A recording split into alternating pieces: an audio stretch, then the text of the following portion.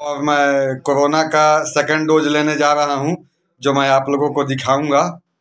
इसी अस्पताल में फिर से सेकंड डोज कोरोना का पड़ेगा। ये मेरे मित्र हैं परमा जो बचपन से मेरे साथ पढ़े हैं इन्होंने भी ले लिया है सेकंड डोज कोरोना का। तो आइयो हम लोग लेने चलते हैं। ये कोरोना का वैक्सीन देखिए कैसे पड़ता है। ये भी भाई आए हैं इंजेक्शन लेने के लिए सेकेंड डोज लेकिन चार दिन बाकी होने के कारण इनको नहीं पड़ेगा।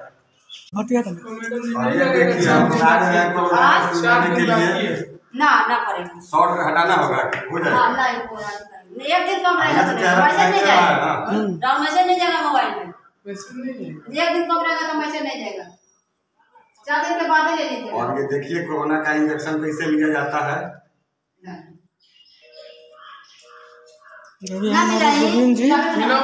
और मिलाना भी नहीं है मैं आप लोगों को बताने के लिए मिला रहा था। तो आप लोग समझ गए होंगे। और देखिए सेकंड डोज लेने के लिए कोई नहीं आ रहा है इस संस्था पे।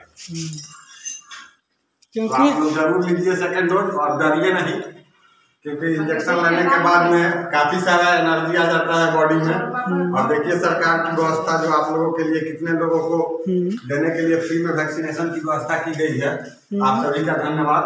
बहुत मिस्टेक के साथ कहना पड़ रहा है कि लोग ले रहा है सेकंड डोज और जो भी ऑनलाइन चढ़ाने वाला स्टाफ है, वो सेकंड डोज को भी फ़र्स्ट डोज में ही कन्वर्ट कर दे रहा है। क्योंकि हमारे गाँव में एक ऐसे भी मिले हैं जो लिए हैं सेकंड डोज लेकिन उनका दोनों डोज का जो सर्टिफिकेट मिल रहा है, वो सेकंड ना हो करके फास्टिंग हो गया है। तो इस पर थोड़ा ध्यान दीजिएगा आप लोग, कहीं भी जाइएगा तो। आप सभी का कोरोना का वैक्सीन लेने के लिए बहुत बहुत धन्यवाद। जय हिंद, जय भारत।